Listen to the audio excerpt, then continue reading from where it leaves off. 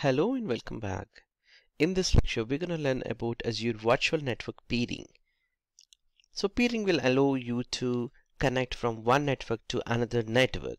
So let's say we have a question about how we can allow traffic between two virtual networks. By default, the VNets from one VNet to another VNet, the communication is fully blocked. That means it will not, it, it will be a completely isolated networks.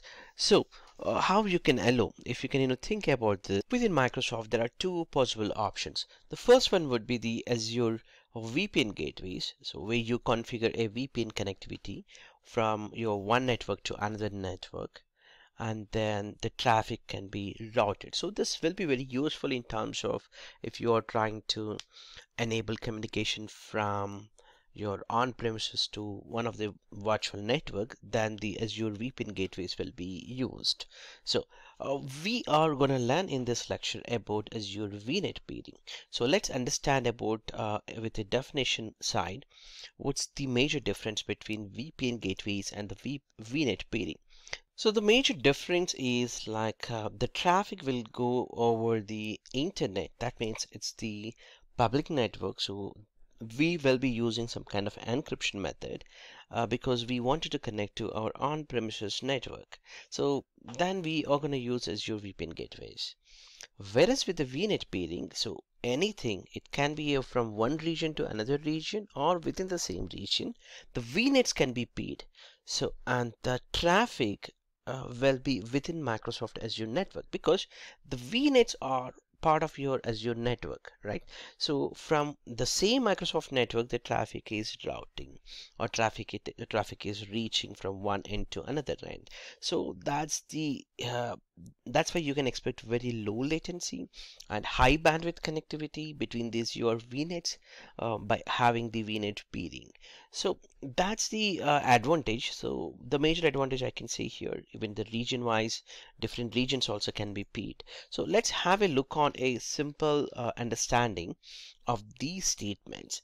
Uh, you have a VNet here with the 10 uh, 10 0.0.0.0 slash 16 with a few of the VMs.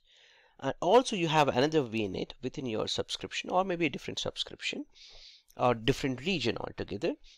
So here I talked about the different region, different subscription. Still you can do the VNet to VNet peering. And uh, here different uh, IP addresses uh, like here 10.1.0.0 slash 24 so by default these two cannot communicate even though they are part of Azure virtual networks so what you can do is when you do something called virtual network peering it will enable you to seamlessly connect uh, with two of these networks so that these virtual machines can communicate with these machines. And similarly these virtual machines can be configured or can be communicated with these um, class uh, 16 specific IP address range machines also. So by default, uh, it, it doesn't happen this. So you need to configure the virtual network peering. So that's the major advantage. And if you look at the support type, as we talked earlier, you can go for virtual network peering even globally uh, across different Azure regions or across different subscriptions also if at all you have the permissions.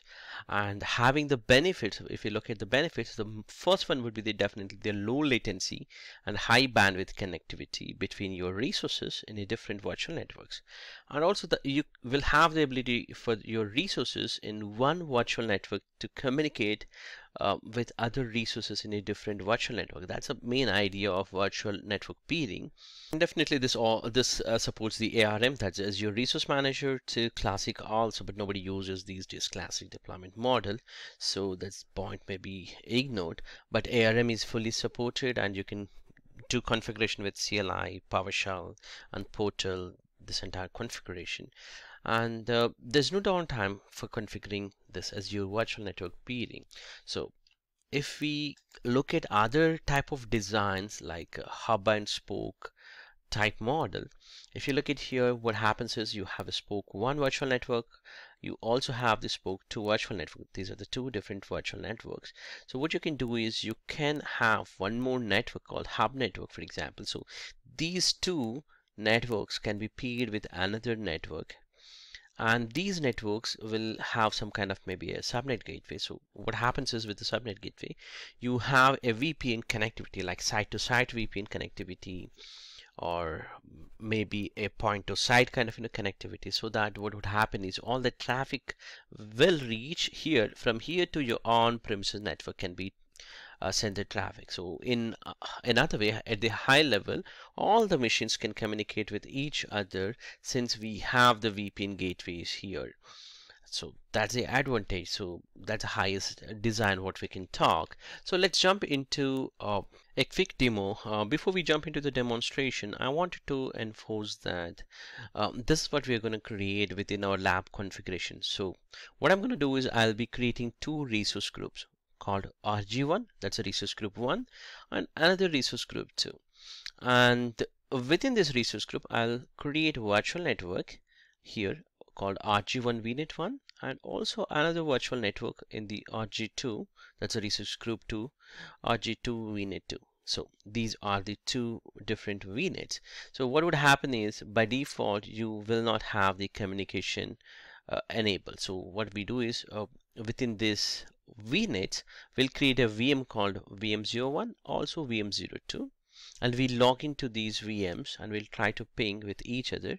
In fact, we will disable the or we will enable the ICMP protocol uh, within the Windows firewall of these two operating systems. Then we do the ping. So when we do the ping, the ping uh, request time dot will come by default from each other. So when uh, when we do the when we perform the VNet to VNet peering, that's from this VNet to this VNet. It's nothing but your virtual network here RG1 to RG2 um, while configuring you have the option of the two-way or one-way also so we do the two-way so that the once the peering happens actually the traffic will be allowed and the ping response will come automatically that's what we're gonna perform within this lab so here one virtual machine we will configure with the 10.0.04 other one will be with maybe 10.1.04 so and the, these are the resources which I'm going to perform within the Azure portal. So please check out the next lecture on this specific demo. Thank you.